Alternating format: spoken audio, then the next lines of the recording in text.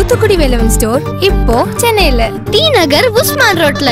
கம்பீரமா தனித்துவமா ரொம்ப லேட்டஸ்டா விழா காலமெல்லாம் வேலவன் ஸ்டோர்ஸோடு. போற்றுதலுக்கும் உரிய கழகத்தின் தலைவர் தளபதியார் அவர்களே விருதுநகர் மாவட்ட கழக செயலாளர் மாவட்ட கழக செயலாளர்கள் அருமை சகோதரர் K K S S R அவர்களே அருமை தம்பி தென்னரசு அவர்களே விருதுநகர் ஒன்றுபட்ட மாவட்டத்தினுடைய கழக செயல் வீரர்களே நிர்வாகிகளே இந்த நிகழ்ச்சியில கலந்து கொண்டிருக்கிற பார்வையாளராக இருக்கக்கூடிய பல்லாயிரக்கணக்கான பெரியவர்களே தாய்மார்களே கழகத் தோழர்களே உங்கள் அனைவருக்கும் என்னுடைய அன்பான வணக்கம். எதிர்பாராத விதமாக இந்த நிகழ்ச்சியை என்று கேள்விப்பட்டு சென்னை வந்த நான் இதை கலந்து கொள்ள தலைவருடைய அனுமதியை கேட்டேன். அவர்கள் தாராளமாக என்று சொல்லி என்னை அனுமதித்திருக்கிறார்கள். அவருக்கு முதலில் நான் நன்றி தெரிவித்துக் கொள்ள கடமைப்பட்டிருக்கிறேன்.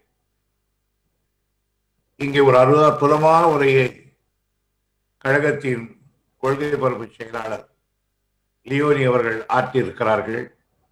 அவருக்கு என்னுடைய பாராட்டை தெரிவித்துக் கொள்ள கடமைப்பட்டிருக்கிறேன். பட்டிமன்றத்தில் அவருடைய நகைச்சுவை பேச்சை நான் கேட்டிருக்கிறேன். ஆனால் ஒரு அரசியல் கருத்துக்களை கத்தரித்து வைத்ததைப் போல் தொய்வில்லாமல் தொடர்ந்து பல கருத்துக்களை சொல்லிய விதம் இன்று எனக்கு மகிழ்ச்சியை தந்தது. இந்த பேச்சுக்கள் தமிழ்நாடு முழுவதும் அவர் வரவர வேண்டும் என்று நான் கேட்டுக்கொள்கிறேன். ஒரு வகையில் இந்த மிசா வந்தது.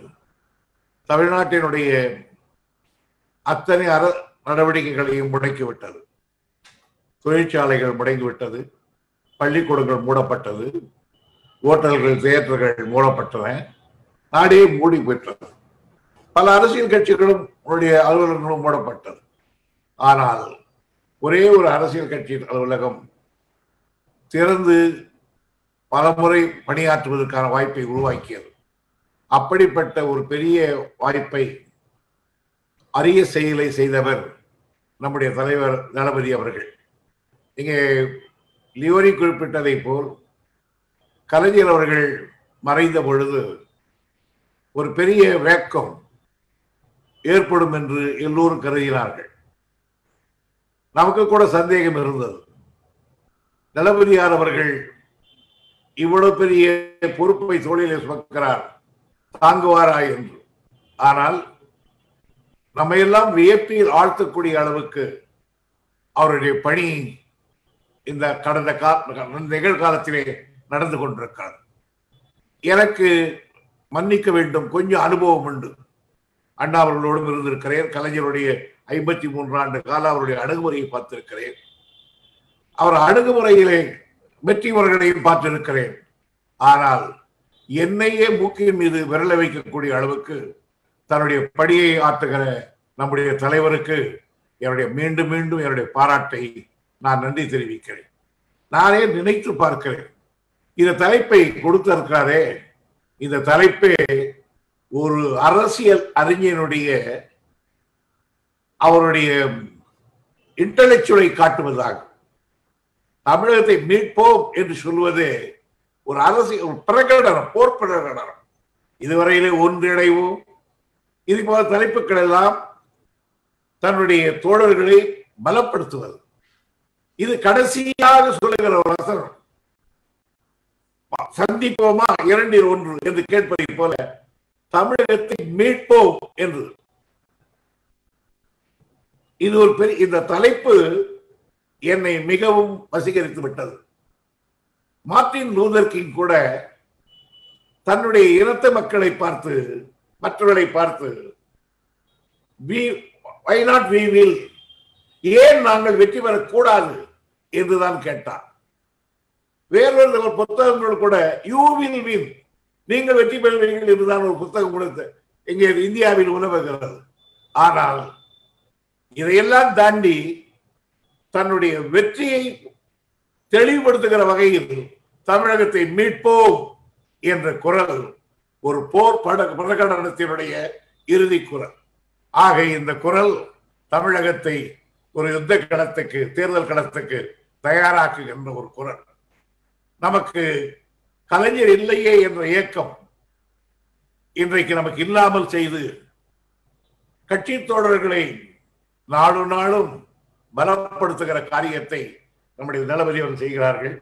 ஒரு வகையில எனக்கு இந்த குரா தொல்லை குரானா தொல்லை கொடுத்து இன்னும் தொல்லை கொடுத்து கொண்டிருந்தாலும் எங்களை போன்றவர்கள் எல்லாம் கொஞ்சம் ஒதுங்கி இருந்தால் கூட ஆனால் ஒரு வகையில எனக்கு அது பாராட்டுகிறேன் காரணம்.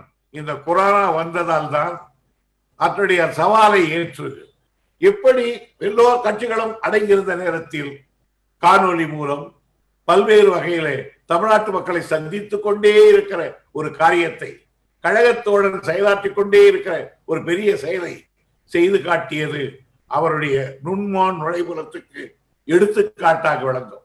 என்னுடைய எனவே நம்முடைய தலைவருடைய வழி இருப்போம் ஆணையை ஏற்போம் எனக்கு ஒன்று சொல்லுகிறேன் என்னுடைய அனுபவத்தை வைத்து அவர் தமிழகத்தை மீட்போம் என்கிறார்.